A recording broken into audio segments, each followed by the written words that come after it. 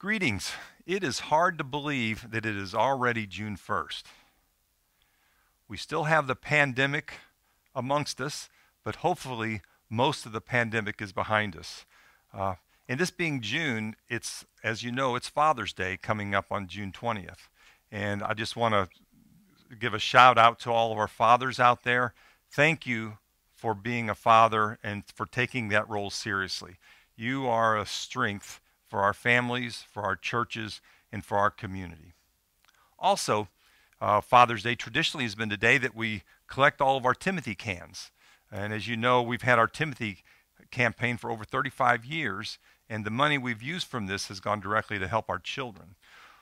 This year, with the pandemic, we've only been able to give out about 50% of the cans that we normally give out because of the circumstances. And so we would like to ask you, our supporters, to, to really help us in trying to meet our goal of $28,000 for the, for the year for our Timothy campaign.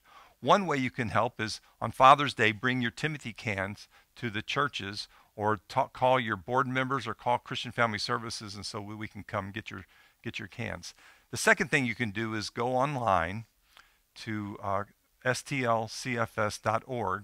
and there's a, a button there where you can donate to Christian Family Services for our Timothy campaign or you can send a check to our offices and put a, a line under there for the Timothy campaign. Another thing you can do is you can join us our roundup program that we have, which is on our website, where people will sign up for that and they, they sign up with their credit cards. And when every time you use your credit card, it'll round it up to the nearest dollar, and that money will go directly to, to Christian Family Services. So again, if you have opportunity, we would love to have you come support us with Christian Family Services with our, our Timothy campaign. Also, May is foster care month. And so in the, the month of May, we have been honoring and recognizing our foster families. And if you go to our social media pages for the month of May, you'll be able to see our foster families that have been featured um, throughout the month. Also, coming up June 4th, this coming Friday, is our golf tournament we would love to have you come and join us for our, our golf tournament. If you're a golfer, it's the place for you. We hope that you could come, be a part of that, and help us raise money for, for a good cause, which is, is Christian Family Services.